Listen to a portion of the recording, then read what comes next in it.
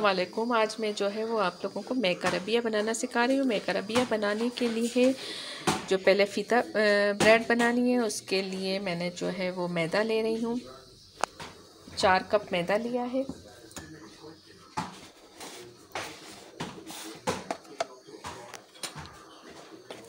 के अंदर मैं जो है दो चम्मच मिल्क पाउडर के डालूँगी।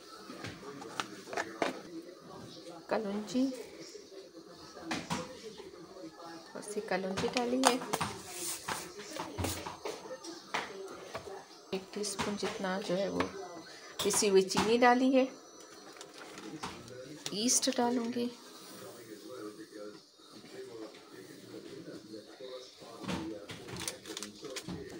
नमक डालूँगी।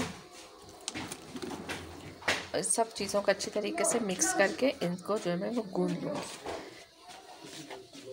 एक चम्मच जो है इसमें ऑयल जाएगा।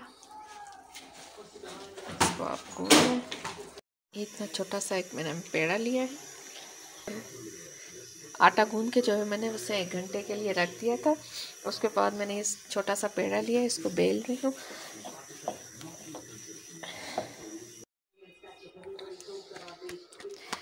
इसको सेक लें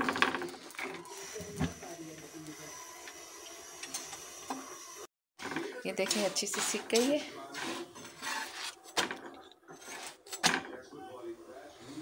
कबाब बनाने के लिए चिकन का कीमा लिया है इसमें मैंने जो है वो चिकन के पीसेस को जो है वो डब्बा रोटी के डब्बा रोटी के दो स्लाइस और लहसन और एक जो है वो हाफ़ प्याज के साथ जो है वो मैंने इसको पीस लिया था। अब मैं इसमें जो है वो नमक डाल रही हूँ। काली मिर्ची।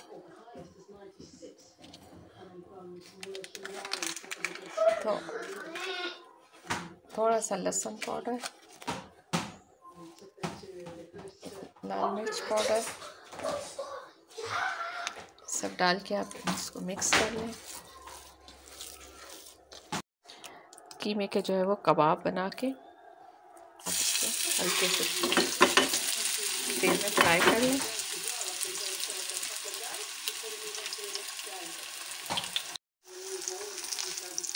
कबाब जो है वो हो गया है। इसको निकालूँगी।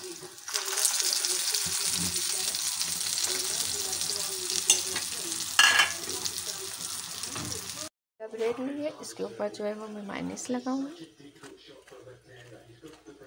माइनस के अंदर मैंने जो है वो गार्लिक पाउडर डाला था। माइनीस से गार्लिक पाउडर है और जो ब्लैक पेपर है, इसको डाल के मिक्स कर लिया था, ये लगाऊँगी। इसके ऊपर जो है वो ये मैं आइसबर्ग रखूँगी।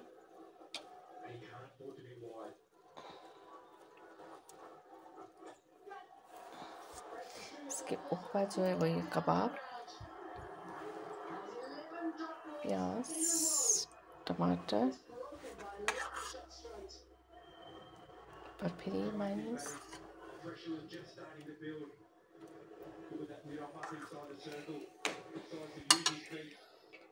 इसको यहाँ से इस तरीके से बंद कर